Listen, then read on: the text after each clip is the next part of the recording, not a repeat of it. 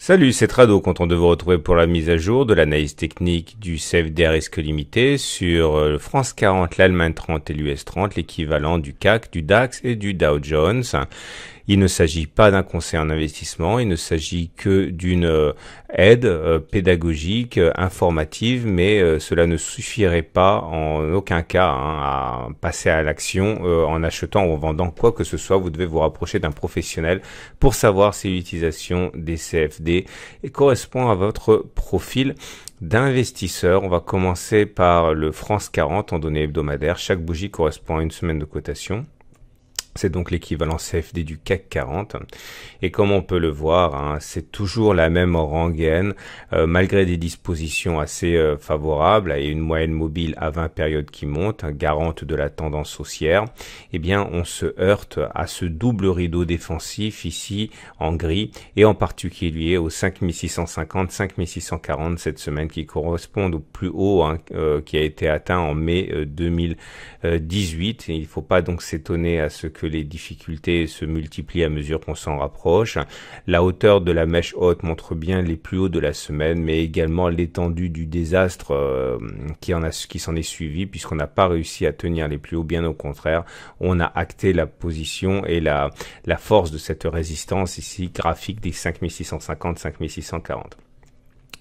Euh, je ne pense pas que beaucoup d'investisseurs de moyen terme entreront sur ces niveaux, tant on est proche d'obstacles. Hein.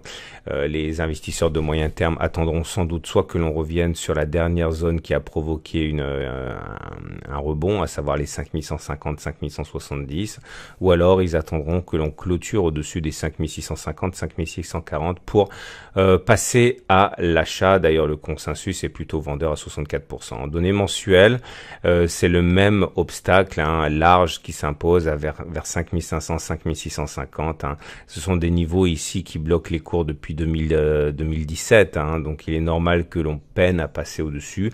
D'ailleurs la moyenne mobile à 20 mois est euh, globalement plate, signe que la tendance elle est neutre. Euh, les investisseurs de long terme, à mon avis, ne rentrent pas sur les niveaux actuels. Soit ils attendent que l'on clôture euh, au-dessus de 5650, soit ils attendent que l'on revienne sur les 4730, 4540, zone qui a provoqué le rebond euh, précédent en données mensuelles. Euh, on passe à l'Allemagne 30.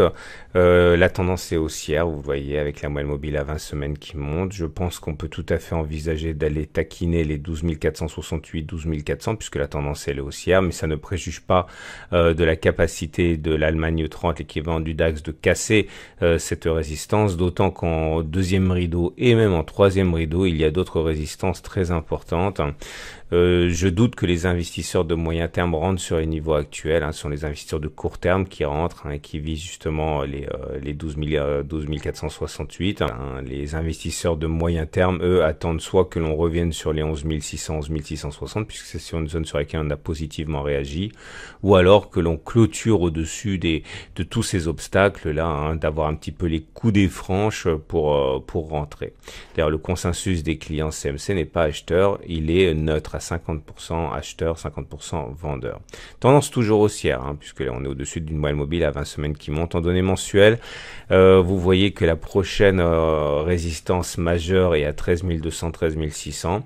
le prochain support majeur est à 10 300, 10 600. Les investisseurs de long terme non plus ne rentrent pas sur les niveaux actuels parce que vous voyez que l'obstacle est relativement proche. Hein.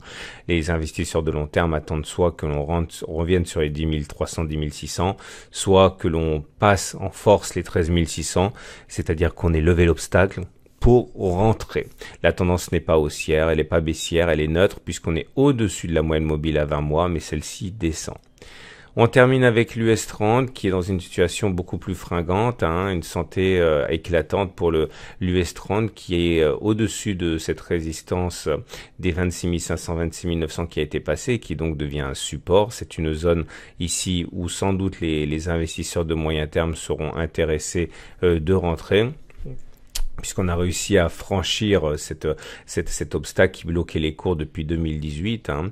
Donc il faut s'attendre à ce que des mouvements acheteurs apparaissent sur cette zone. Euh, en données, euh, d'ailleurs la tendance est toujours haussière, vous voyez la moyenne mobile à 20 euh, semaines croît.